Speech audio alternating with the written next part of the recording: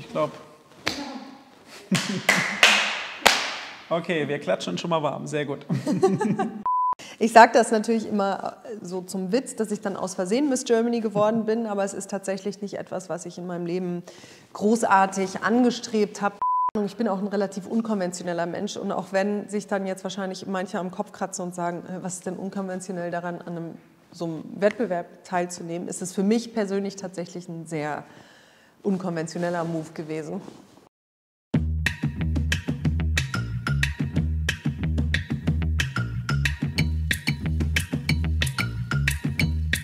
Hotstoff, der laue Talk. Ja, hallo und herzlich willkommen zu einer neuen Episode von Hotstoff, unserem monatlichen äh, ja, YouTube-Talk. Äh, wir freuen uns ganz besonders, dass wir heute Leonie zu Gast haben. Leonie von Hase, die amtierende Miss Germany hier aus Schleswig-Holstein, aber einen weiten Weg zurückgelegt, bis sie nach Schleswig-Holstein gekommen ist. Ähm, Leonie ist nicht nur Miss Germany, sondern hat noch ganz viele andere interessante Facetten, über die wir heute mehr erfahren werden. Also herzlich willkommen, Leonie. Schön, dass du da bist. Danke, dass ich da sein darf. Ja, sehr gerne. Ähm, du bist ja quasi die ja, älteste bislang gewählte Miss Germany und äh, bist auch schon Mama, was, äh, glaube ich, bis dato auch ein Novum war bei dieser Wahl. Ja. Vielleicht magst du uns überhaupt einmal umreißen, ja, wie bist du da drauf gekommen, dich als Miss Germany zu bewerben? Also als allererstes muss ich mal sagen, dass ich das Konzept äh, die älteste so skurril finde, denn ich fühle mich nicht alt, ich bin erst 36 Jahre jung sozusagen, was ja auch eigentlich total hirnrissig ist, dass wir überhaupt äh, in diesen äh, Kategorien, Ahnung, Kategorien mhm. und, und äh, Nummern denken, aber gut.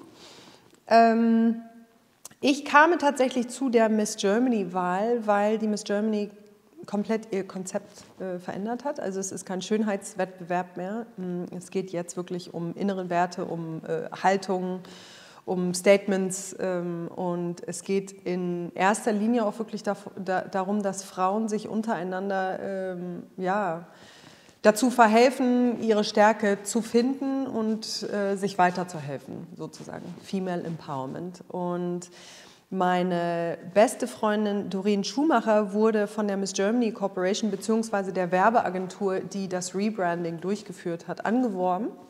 Sie ist ähm, Berlinerin, ist ähm, Architektin, ist Mutter, ist eine sehr beeindruckende Frau, sagen wir mal so. Die klingt schon sehr empowered. Ja, genau. Sie ist eine ganz tolle Frau und sie hatte mir das dann nahegelegt. Ich war natürlich am Anfang etwas skeptisch, warum sie denn jetzt für Miss Germany arbeitet so. Und dann hat sie mir gesagt, dass sie sich mit dem äh, Geschäftsführer Max Klemmer ähm, wirklich ausführlich über das neue Konzept unterhalten hat und wirklich äh, das auch legitim ist und das Gefühl hat, das, das meint er auch wirklich ernst. Und in dem Sinne sagte sie zu mir, du, du hast ja einen Online-Shop, ich verkaufe Vintage-Klamotten online und warum machst du das nicht, um einfach deine Reichweite ein bisschen mhm. zu erweitern und, und deine Message so ein bisschen deutschlandweit zu spreaden sozusagen. Und dann habe ich mich wirklich ganz spontan, eher aus dem Stegreif und mit gar nicht so viel Absicht beworben. Und ich sage dann immer so, ich sage das natürlich immer so zum Witz, dass ich dann aus Versehen Miss Germany geworden bin, aber es ist tatsächlich nicht etwas, was ich in meinem Leben großartig angestrebt habe oder äh, eine Ambition, die ich für mich selbst immer ähm, erfüllen wollte, sondern es, es war wirklich so das Ding, dass dank dem neuen Konzept ich mich da irgendwie drin wiedergefunden habe. Also war das quasi auch die erste Misswahl, an der du überhaupt jemals teilgenommen hast? Ja, Standard, natürlich. Ja, ja okay. Nee. ja, ich bin, also ähm, ich, ich bin kein, erstens bin ich kein Verfechter von Schönheitsidealen. Das, das finde ich ein sehr schwieriges Thema, denn alles über einen Kamm zu ziehen, wo es Frauen in jeder äh, Shape, Size und Form gibt sozusagen und auch Männer natürlich, ähm, das finde ich schon mal ganz schwierig, auch von der äh, intellektuellen Perspektive her, wie, wie wir Frauen so standardisieren wollen ne? und, und, natürlich die gegebenen Schönheitsideale, dieses, das Konstrukt dahinter, bla bla bla, so mhm. müssen wir jetzt nicht. Aber ähm, ja, ich keine Ahnung, ich bin auch ein relativ unkonventioneller Mensch und auch wenn sich dann jetzt wahrscheinlich manche am Kopf kratzen und sagen, äh, was ist denn unkonventionell daran, an einem, so einem Wettbewerb teilzunehmen, ist es für mich persönlich tatsächlich ein sehr unkonventioneller Move gewesen. Das äh, ja, klingt für mich auch so und ich, also ich finde es auf jeden Fall super ähm, bereichern und für mich ist das Konzept auf jeden Fall oder dieser Wandel auf jeden Fall vollzogen. Also es war für mich völlig nachvollziehbar ja. äh, und wenn ich dich so als Persönlichkeit sehe, dann ähm, ja, ist da halt einfach, ähm, ja, habe ich so das Gefühl, da ist noch deutlich, deutlich mehr, was man auf jeden Fall erfahren möchte und, und äh, da wird eben doch das ja, der Mensch als Ganzes irgendwie mehr, mehr in den Vordergrund Ja, gestellt. gut, aber es, äh, die, die, Kritiker oder die Hater gibt es ja nach wie vor, die dann sagen, ja, es ist trotzdem eine, eine äh, große, schlanke, blonde Frau mit langen Beinen geworden. So. Und ähm, dazu denke ich mir halt immer, dann wird da irgendwie wieder so dieser Stempel aufgedrückt, dass Frauen sich entscheiden müssen. Entweder sie sind schlau und sie haben Persönlichkeit oder sie sind halt schön, aber dann haben sie auch die Klappe zu halten. So, ne? Und ich finde, das ist irgendwie so ganz gut in einem Verein. Ich meine, ich model seit, glaube ich, mittlerweile fast 20 mhm. Jahren, und, ähm, aber ich habe mich trotzdem äh, in, in akademisch und, und intellektuell mhm. und spirituell und was da alles dazugehört, weitergebildet. Und, und ich finde, Frauen, ja, wir, wir können alles sein. Und, und selbst wenn du das Gefühl hast, es ist alles irgendwie glatt angekommen, dann haben wir doch auf jeden Fall irgendwas richtig ja, gemacht. Ja, damit muss man ja auch mal aufräumen. Ich meine, ich habe jetzt ja hier durch meinen Job auch schon genug... Äh, Modeldamen kennengelernt und äh, ja, da haben auch äh, einige von studiert oder sind selbstständig oder was weiß ich. Also insofern, da muss man auf jeden Fall mit den Schemata mit den Schematas aufräumen. Wir haben auch äh, kürzlich bei uns hier eine Modenschau durchgeführt, Laueland, und da haben wir eben auch probiert, ähm, ja, so ein bisschen das Standardmodelbild zu durchbrechen, sondern wir haben eben auch probiert, alle Sizes äh, und äh, ja, also alle, alle Typen auch abzubilden sozusagen und, und eben nicht äh, dem sozusagen zu verfallen, dass man eben immer nur dieses ähm, ja, eine Bild sozusagen ähm, transportiert. Und genau, ich denke, jeder hat auf jeden Fall Persönlichkeit und äh, was Spannendes zu entdecken. Und insofern bin ich, bin ich halt froh, dass, äh, dass ich das Gefühl habe, dass eben diese, diese Transformation jetzt auch irgendwie ernst gemeint ist. Ja, und eine Wende war halt einfach komplett überfällig, auch in, in der. Repräsentation mhm. der Frauen. Ne? Also ich meine, wie viele Frauen hast du in deinem Umkreis, die so aussehen wie Models? Das ist einfach nicht der Gros. Und mhm das, das ist total äh, hirnrissig, unfair und vor allen Dingen auch total ungesund. Mhm. So. Ja, stimmt. so, auf jeden Fall. Ähm, aber also der Gewinn hast du ja schon gesagt, der hat dich sehr, sehr überrascht. Ähm, wie war das dann, als die Nachricht auf dich eintrudelte? Dann hat das Telefon die nächsten fünf Tage nicht mehr stillgestanden. Wie, beschreib mal so ein bisschen, wie der Moment war. Ja, ich habe tatsächlich mein Telefon erstmal komplett ignoriert, die ersten Tage. Also ähm, in dem Vorlauf auf das Finale waren wir drei Wochen in dem sogenannten Personality Camp. Wir waren zwei Wochen im Europapark in Rust mhm. und mhm. eine Woche in Uganda in Ägypten. Und da war ich halt die ganze Zeit von meiner Familie getrennt und dementsprechend hatte ich dann natürlich auch ganz stark das Bedürfnis in der Zeit danach, also in den ersten Tagen danach, erstens mich komplett abzuschotten und zweitens einfach mich wirklich ganz gezielt mit meiner Familie auf die Couch zu kuscheln und ähm, erstmal äh, die Welt, äh, die Außenwelt irgendwie auszuschatten. Und ähm, ja, also es war, es war schon relativ überwältigend. Also ich bin am Tag direkt, also die Wahl war an einem Sonntag, nee, an einem Samstag, an einem Sonntag hatte ich dann gleich ein Covershooting und ein paar Interviews und an dem Montag hatte ich in Köln ähm, bei ich glaube, ich war bei Sat1 zum Frühstücksfernsehen eingeladen und dann hat sich irgendwie rumgesprochen, dass die neue Miss Germany aber auch unter dem neuen Konzept da ist und das äh, Frühstücksfernsehen-Interview lief so gut, dass dann irgendwie NTV dann noch angefragt hat und das ging dann irgendwie immer so weiter und im Endeffekt habe ich, glaube ich, drei oder vier Interviews gemacht, obwohl mhm. es nur eins sein sollte. Und das war auf jeden Fall schon mal ähm, sehr spannend. Das war dann, so. bei, wann war die Wahl genau? War die im Februar? Am 15. Oder? Februar. Ja, okay. Mhm. Genau. Ja, und das hat mir dann natürlich schon mal so einen kleinen Geschmack gegeben. Und ähm, wenn ich jetzt überlege, wie professionell ich mit den Interviews umgegangen bin im Vergleich zu denen, die ich, die ich jetzt führe, da habe ich natürlich schon einen ganzen Happen hm, dazugelernt. Ähm, aber da haben wir halt auch viel so Medientraining und so bekommen in, in, dem, in dem Camp, aber egal.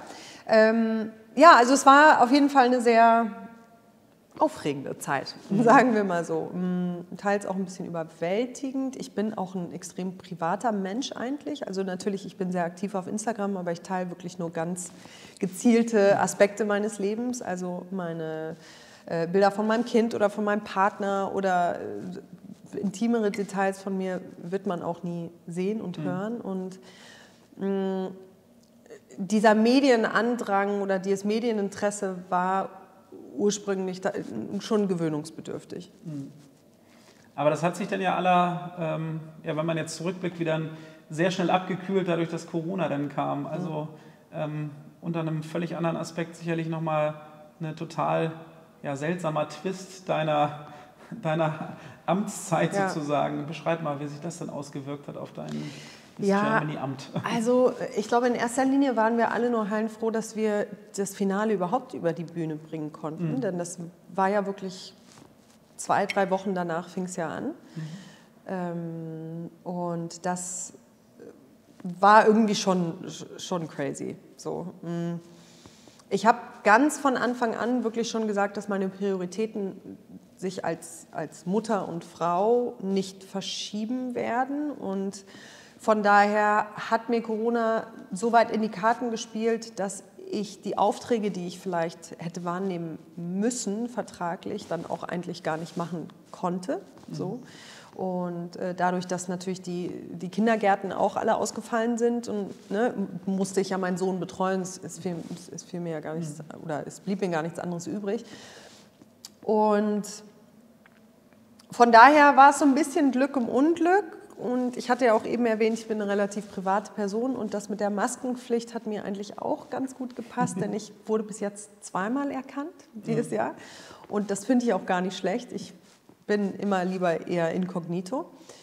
Ja, und es hat halt dazu geführt, dass meine, ja, meine Online-Präsenz sich wesentlich weiterentwickelt hat und dass ich halt auch viele, ja, wie gesagt, Podcasts und ähm, so, so Online-Panels und so Discussions, Webinars und so mitgemacht habe. Und das macht mir auch wirklich sehr viel Spaß, weil ich das Gefühl habe, es geht in erster Linie darum, was aus meinem Kopf und aus meinem Mund kommt und nicht, wie ich ähm, in, in der Abendgarderobe aussehe. Ich weiß, das. Dann bin ich vielleicht nicht bei der richtigen Adresse, wenn Du ich mich hier darüber. kommt es auf beides drauf an. Ja, genau, obwohl ich äh, tatsächlich eher in der Männerabteilung heute gelandet bin. Aber Siehst du auch zauberhaft drin aus, alles gut. Dankeschön. Dann erzähl mir noch mal ganz kurz, also äh, was ja auch damals so ein bisschen durch die, durch die Medien ging, war ja eben, dass du ähm, quasi ähm, ansässig in Kiel, aber geboren in Namibia. Wie, ähm, ja, beschreib mal so ein bisschen deinen, deinen Lebensweg bis dahin, wie du an die Förde gekommen bist. Also, witzigerweise, und das wusste ich nicht, bis ich ein halbes Jahr in Kiel schon lebte, mh, wurde mein Großvater als einziger meiner Vorfahren der Generation in Kiel geboren. Und zwar ist mein, äh, oder war mein Großvater der Sohn eines Artillerieoffiziers im Ersten Weltkrieg. Und er wurde in Kiel geboren und ist dann mit, ich meine, Anfang 20 nach seinem Landwirtschaftsstudium nach damals Deutsch-Südwestafrika ausgewandert. Meine Großmutter wurde schon in Deutsch-Südwestafrika geboren, meine Oma mütterlicher Seite wurde in Tansania geboren und mein äh, Opa mütterlicher Seite auch in Deutsch-Südwestafrika. Also ähm, wir sind schon eine ganze Weile dort. Meine Mutter wurde in Südafrika geboren, mein Vater in Namibia oder damals auch Deutsch-Südwestafrika. Und so sind wir halt komplett verwurzelt. Allerdings haben wir auch noch einen sehr großen Familienanteil in, in Deutschland. Also alle von Hases, die es auf der Welt gibt, sind miteinander verwandt. Und wir haben auch den Familienrat, einen ganz großen Familienbaum. Und wir passen irgendwie alle so zusammen. Ähm, und meine Identität als Deutsch-Afrikanerin ist ähm, meine primäre Identität. Ne? Also das mit dieser deutschen, mh, ja, der, der, der deutschen Leonie, das kam eigentlich erst so ins Spiel, wie gesagt, vor fünf Jahren, als ich nach, erst nach Berlin zog und dann äh, meinen jetzigen Partner schon aus Kapstadt kannte von vor über 15 Jahren und dann haben wir uns wieder gefunden, sagen wir mal so, und dann bin ich zu ihm dann nach Kiel gezogen und hatte mich dann aber auch total gewundert, äh, warum ich denn jetzt zum Teufel in Kiel gelandet bin. Was, was habe ich denn da zu tun? Also das ist ja so weit weg von, von, meiner, ähm, ja, von, von meiner Kindheit oder von meinem, von meinem Empfinden, von dem, was ich brauche, um mich wohlzufühlen, die Wärme und die Sonne und so diese Leichtigkeit der Afrikaner und ähm, das Licht und Kiel ist ja, äh, die Norddeutschen sind ja, ich meine, das weißt du ja selber, sind speziell, obwohl ich sie auch unglaublich warmherzig finde und ich, und ich mag diese wirklich sehr direkte Art der, der Norddeutschen und, und so dieses Trockene, finde ich richtig cool. Mm, und mittlerweile finde ich es aber auch total romantisch und es hat irgendwie alles so, seitdem ich erfahren habe, dass mein Großvater in Kiel geboren wurde, hat es irgendwie alles so Klick gemacht und dann habe ich verstanden, warum mein Sohn dann auch in Kiel geboren wurde. Das, das Bild fügt sich. Ja, irgendwie schon. Könntest du dir aber eines Tages auch wieder vorstellen, entweder nach Namibia zurück oder nach Südafrika zurückzugehen? Also ich könnte mir das ungefähr jedes halbe Jahr vorstellen. Ja, ja, natürlich, klar. Also ähm, wenn's, und wenn es nach mir gehen würde, würden wir auch die Hälfte des Jahres dort verbringen und die Hälfte, Hälfte des Jahres in mhm. Kiel. Aber das ähm, nicht zu allerletzt durch Global Warming ist das einfach nicht mehr nachvollziehbar, mhm. so viel hin und her zu reisen. Und ähm, klar, als Unternehmer muss man sich halt auch mal Gedanken machen, wo dann die Kohle herkommt, wenn man irgendwie ein halbes Jahr aussetzt. Mhm. So. Und ich glaube, es wird mich auf jeden Fall früher oder später wieder dorthin verschlagen, aber ich glaube nicht, bevor mein Sohn, keine Ahnung, sein Abitur hat okay. oder was auch immer ja er macht. Bleibst ja. uns also noch ein bisschen hier erhalten sozusagen. Glaube ich schon, ja. Jetzt hatten wir dich ja heute hier zu Gast und du hast ja auch noch mal ein paar Brautkleider aus der aktuellen Miss Germany Kollektion vorgeführt. Ähm, du hast deinen Partner gerade erwähnt. Haben da schon die Hochzeitsgläuten geläutet oder habt ihr was geplant? Wie ist da der Status quo? Ja, wir hatten tatsächlich einen Termin dieses Jahr und der lag auch schon relativ, also in, in dem ersten Viertel des Jahres. Und ähm, ja, dann kam halt Corona, ne? Und wir haben Freunde und Familie auf der ganzen mhm. Welt verstreut und also ne, meine besten Freundinnen leben in New York, Paris und in Parma und in Kapstadt und also die sind wirklich überall. Ähm, und für mich ist eine Hochzeit, also für, für mich ist es super wichtig, dass die Menschen, die einen am allerwichtigsten sind, eigentlich diese, diese Zusammenfügung auch begläubigen sozusagen. Ja. Und von daher ähm, ist das jetzt erstmal indefinitiv verschoben, weil wer weiß, wann wir alle wieder so un, unbehütet und fröhlich zusammenkommen können. Ja. Ja. ja, kann ich verstehen. Aber ich muss sagen, Entschuldigung, das ja. muss ich jetzt noch mal ganz kurz sagen, das erste Kleid, was ich anhatte, also ich, ne, wie gesagt, man, man sieht mich ja eigentlich immer nur irgendwie in viel zu großen Männerklamotten sozusagen. Das ist ja so sehr mein androgyner Style, aber ich hatte das erste Kleid an und das war so glitzernd. Ich hatte noch nie in meinem Leben so was Glitzerndes an und ich habe mich wunderschön gefühlt und ich habe mich, ich war ein bisschen enttäuscht von mir selber, weil ich, weil ich auf einmal mich wie eine Prinzessin gefühlt habe und ich fand es wunderschön. Oder nee, sagen wir nicht enttäuscht, ich war total überrascht. Überrascht, von weil du es nicht erwartet hast. Ich dachte, in meinen, 36, genau, ich dachte in meinen 36 Jahren ähm, habe ich schon alle Seiten von mir kennengelernt. Aber das ist doch schön, dass wir eine die neue, war mir fremd. dass wir eine neue Intelligent aufdecken konnten. Also ja. jedenfalls ja, ich habe da jetzt schon ein Bild von gesehen, hätte auch nicht erwartet, dass es dein Kleid ist, aber deswegen umso in schöner. In diesem Moment werde ich mich immer umso schöner, dass du es nochmal erwähnst und umso wichtiger, äh, also alle, die da draußen zuhören und zugucken, man muss so ein Kleid tatsächlich mal anprobieren und dann äh, die Gefühle mal laufen lassen, sozusagen. Yes. Ähm, was machst du denn eigentlich? Also, du hast schon mal erzählt, dass du auch irgendwie als Unternehmerin aktiv bist, wenn du eben nicht als Miss Germany aktiv bist, was ja, ja dann auch irgendwann sozusagen Anfang des nächsten Jahres wieder vorbei sein wird. Was, was ist deine eigentliche Mission? Also von Beruf aus bin ich Autorin und Markenstrategie, also ich habe Brand Strategy, also Creative mhm. Brand Strategy, Markenstrategie studiert und Englische Literatur. Mhm und habe viel als Werbetexterin, Journalistin, ähm, Strategin, ähm, keine Ahnung, Design-Einkäuferin, Creative Director. Ich habe schon also die Bandbreite komplett abgedeckt mhm. eigentlich. Äh, und meine größte Mission in meinem Leben ist eigentlich immer, mich in meiner Arbeit kreativ zu verwirklichen oder auch in meinem Alltag. Ob mhm. das jetzt, keine Ahnung, durch, durch mein Kochen ist oder durch meine Auseinandersetzung mit meinem Sohn oder äh, was, was auch immer es sein mag. Und ähm, nach der Geburt meines Sohnes war mir sehr wichtig, dass ich die Zeit für ihn auch irgendwie äh, einräumen kann, die er meines Erachtens braucht oder die ich meinem Sohn auch schenken möchte. Und mh, mm, ich habe schon ganz lange, wirklich, also ich habe mit 14, 15 angefangen, Vintage-Klamotten zu sammeln, weil ich so eine ganz wirklich eine ganz tiefe Liebe für Objekte habe, die eine Geschichte erzählen. Das, ähm, ich kann mich noch daran erinnern, in Namibia die, die Schränke oder die alten Kommoden oder die alten Leinen-Tischdecken, die noch von meiner Großmutter irgendwie äh, vererbt wurden. Und das hat für mich immer irgendwie so viel Bedeutung und, und ähm, ja, was, was ganz Spezielles gehabt. Und so, ich glaube, so kam irgendwie meine Liebe zu diesen zu, zu, zu, alten Sachen, für andere Menschen einfach alte Sachen. und auch Ramsch. Nein. Und ähm, dann war nach der Geburt meines Sohnes eigentlich klar, dass ich was machen wollte, wie gesagt, was, was mich flexibel mhm. hält und, und was wirklich so meine ganzen beruflichen Erfahrungen in eins kombiniert. Und so ist dann der Leonie Store ins Leben gerufen worden. Und mhm. dort verkaufe ich ähm, Vintage-Klamotten, die nach meinem Geschmack äh, sind. Mm, und die werden dann alle, oder die, also die meisten wandern zum Schneider und ich lasse sie so ein bisschen modernisieren, vielleicht ein bisschen verkürzen oder ein bisschen enger machen oder mhm. einen Ärmel ein bisschen hier und da so. Und dann gehen sie in die professionelle Reinigung mhm. und dann äh, fotografiere ich sie auch ganz professionell äh, an mir selbst mit Selbstauslöser in der Hand. Habe ich schon gesehen, ja. und, Sehr ähm, arty.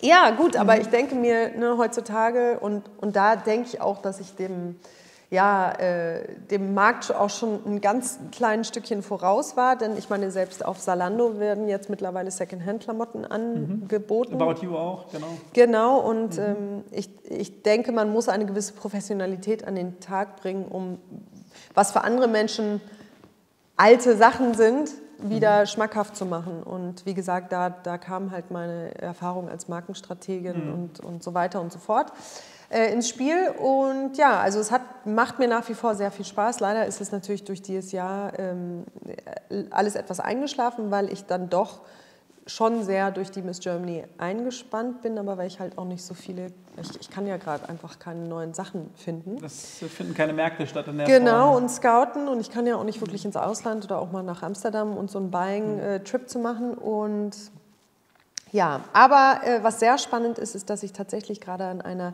Vintage-inspirierten Capsule Collection arbeite, die hoffentlich in den nächsten Monaten rauskommt. Ach so, für eine andere Brand dann aber, oder? Nee, also für unter meiner Leonie-Brand. So, okay. Genau, und äh, ich habe da einen sehr spannenden Partner gefunden. Aber das wäre dann Neuware quasi. Es ist Neuware, aber, aber genau, aber mhm. nachhaltig produziert mhm. und ähm, auch aus nachhaltigen Stoffen. Mhm. Und äh, quasi wird es so produziert, dass es auf Bestellungen produziert wird. Also erst wenn wir eine bestimmte Anzahl haben, geht es dann auch in die Bestellung. Okay, also es wird nicht ähm, 70 Prozent der Ware, die nicht verkauft ist, vernichtet. So ja, okay, das macht auch Sinn. Okay. Ja. Da haben wir auch schon mal wieder viel über dich erfahren. Ähm, das wäre überhaupt noch mal eine Frage von mir. Äh, du hast es jetzt ja schon mal einmal angesprochen, das Thema ähm, Female Empowering. Du hast jetzt auch einmal angesprochen, Nachhaltigkeit, nicht immer vor und zurück nach, nach Südafrika fliegen sozusagen. Ja. Was sind Themen, die dir besonders am Herzen liegen, wo du dich sehr für engagierst? Sind es zwei Themen, wo wir dich auch in Zukunft sehen werden, dass du dich da deutlich positionierst? Oder was sind so deine Herzensangelegenheiten? Ja, also Female Empowerment ist mir schon sehr, sehr wichtig. Mhm. Ähm, ich, ich, bin immer so ein bisschen vorsichtig mit dem Wort Gleichberechtigung, denn ich glaube, es geht nicht so sehr um die Gleichberechtigung, als dass es darum geht, dass Frauen für sich ihre Stimme und ihre Stärken nutzen und sich nicht mit den Männern vergleichen, denn ich glaube, Mann und Frau sind nicht gleich, wir sind einfach anders und äh, das muss beides zelebriert werden und es muss vor allen Dingen auch für beide äh, eine ganz große Wertschätzung äh, bestehen. Das ist mir sehr, sehr wichtig. Und, und ich glaube, auch die Reise zu meinem eigenen, ja, zu meiner eigenen mentalen Erweiterung oder die meiner Mitmenschen ist mir auch sehr wichtig. Also ich ähm, lese extrem viel und ich ähm, investiere viel in mein Wesen, sagen wir mal so. Und, und da versuche ich eigentlich auch immer so gut wie es geht irgendwie viel gut oder erweiternden Content auch auf meinen Plattformen äh, zu teilen. Und mhm. ja, klar, Nachhaltigkeit, ich glaube, das sollte kein Buzzword sein, das sollte für uns alle die höchste Priorität sein. Ich meine, ich kann jetzt auch nicht behaupten, dass ich in meinem Leben total nachhaltig bin und ich bin auch nicht vegan und ich mhm. ähm, kleide mich ja vielleicht 70 Prozent in Secondhand, was ja auch schon mal ein guter äh, Ansatz ist, aber mh, das wie gesagt, finde ich, sollte für uns alle super wichtig sein. Was sind Themen, die, noch, die mich noch äh, inspirieren? Also ja, das, das, Familienwesen ist mir super wichtig ähm, und Essen ich koche super viel und das ist etwas, was ich super, super spannend finde und so ein kleiner so ein Secret, äh, Secret Wunsch, den ich habe, ist, dass ich auch irgendwann nochmal vielleicht ein Kochbuch rausbringe. Ah, cool. So äh, aus einer Küche, so einer gesunden Wohlfühlküche, die aus äh, meiner Kindheit in Namibia äh, ah, klingt doch spannend. entspringt. Ja, schön. Dann habe ich noch mal so ein bisschen abschließend so ein klein bisschen ähm, Schnellfeuer-Ping-Pong sozusagen. Ja. Also äh, den Ball nehmen wir gerne noch mal auf. Wenn ich dich dann besuchen würde in Kiel, äh, was würdest du mir kochen, wenn du mir dein Lieblingsessen servieren wollen würdest? Also Uh. Seite 1 in deinem Kochbuch quasi. Uff, wir haben tatsächlich gerade einen Pizzaofen im Garten gebaut Ah, cool. und ich würde dir wahrscheinlich einfach eine richtig geile Homemade Pizza machen, weil Mhm. man damit immer gut punkten kann und so eine richtig perfekte Wood-fired Pizza. Klingt sehr gut. Mhm. Ähm, dann hast du noch von englischer Literaturwissenschaft gesprochen. Ähm, welches Buch würdest du mir aktuell empfehlen? Was sollte ich unbedingt lesen? Was ist mind-blowing? Ja, also ich habe gerade das äh, neue Buch von Margaret Atwood gelesen. Das ist, heißt The Testaments. Margaret Atwood ist ja eine, ja, man kann sie eine postapokalyptische Schriftstellerin nennen, die irgendwie immer so ein bisschen zukunftsorientiert äh, orientiert, ähm, dystopische Welten umschreibt, sozusagen. Und die hat, äh, also das ist die ähm, Nachfolge oder, oder der zweite Band zu dem Buch The Handmaid's Tale. Der wurde, ähm, das Buch wurde vor einigen Jahren zu einer Serie ähm, verfilmt, die wirklich sehr, sehr, sehr bewegend ist. Ich weiß nicht, ob das jetzt so dein Ding ist, aber... Ja, ich liebe auf jeden Fall diese dystopische Netflix-Serie. Wie heißt sie da nochmal? Ich komme gerade nicht drauf. Ähm, na, müssen wir gleich einblenden. ja, aber Margaret Atwood ist auf jeden Fall ein guter Ansatz. Und ich ist- liebe auch Yuval Harari, der ist ja eher ein Philosoph, der quasi in die Zukunft blickt. Also das, ich habe jetzt so verstanden, das ist irgendwie ein bisschen Belletristik, das ist also ein Ro Zukunftsroman in irgendeiner Form. Mhm. Ja, ja, ja, okay. genau. Ja, und ähm, äh, Murakami finde ich auch immer so, super toll. Das ist ein äh, japanischer Schriftsteller. Okay, gucke ich mir mal an. Ich weiß jetzt auch, wie, mir, wie die Serie heißt auf Netflix, die heißt Black Mirror. Das Black ist so Mirror, ja, ja, Zukunftsserie, genau, aber dann, dann schau mal, sch- schau Margaret mal was du Edwards, von. Genau, okay, The Handmaid's Tale heißt die, die gibt es auf Hulu. Okay. Oder beziehungsweise gibt es auch mittlerweile auf Amazon. Und auf was für ein Konzert würdest du mich mitschleifen? Bruce Springsteen? Okay, ja. The ähm, Boss? Ja, steht vor der Tür und wartet, dass sie rauskommt, Freitagabend. Leonie, jetzt hast du uns auch noch erzählt, dass du im Sommer ähm, einige Podcasts besucht hast, besucht hast als Gast. Ähm, hast du da auch eine Empfehlung für uns? Was ist der absolute Must-Hear-Podcast? Also den Endlich Om, so wie Om Podcast, den finde ich super spannend, Mm, auch sehr relevant und sehr aus dem Leben gegriffen und alle Themen, ja, Gründertum und ähm, ja, sich in der deutschen Digitalszene irgendwie zu selbstverwirklichen, finde ich den Baby God Business sehr spannend.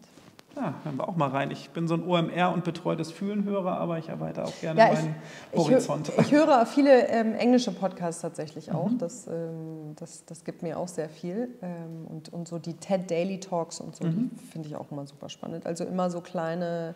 Und natürlich Blinkist. Also Blinkist ist Liebe ja. ich auch. Ja, liebe Leonie, also vielen Dank auf jeden Fall für die tollen Empfehlungen. Die werde ich alle mal äh, peu à peu mir ins Visier nehmen, wie gesagt, wenn äh, die Zeit es zulässt, neben Job und Kind.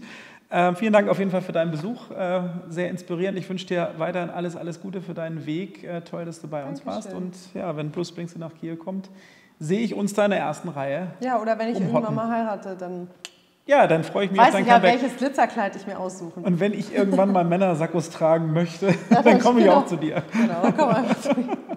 Alles klar. Vielen, vielen Dank. Ich Alles bedanke Gute. mich. Tschüss.